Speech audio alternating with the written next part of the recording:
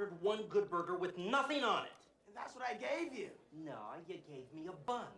Just a bun. Look, there's no meat in here. But you said you wanted nothing on it.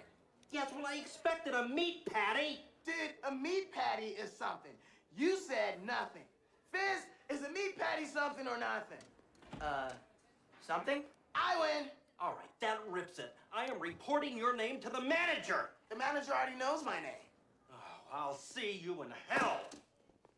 Okay, see you there.